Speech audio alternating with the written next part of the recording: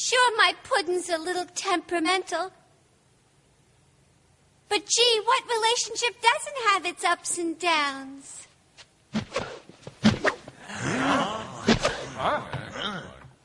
Ha! A flat.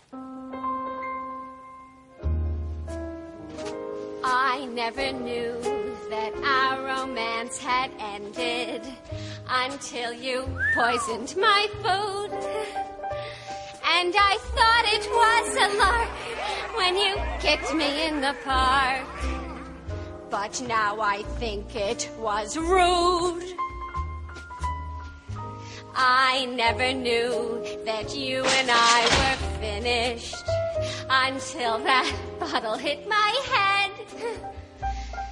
I tried to be aloof when you pushed me off the roof, I feel our romance is dead.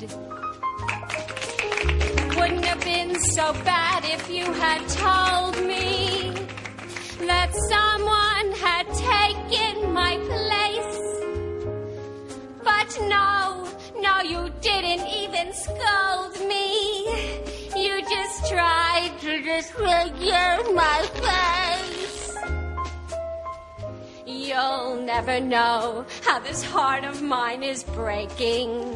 It looks so hopeless, but then life used to be so placid. Won't you please put down that acid and say that we're sweethearts again?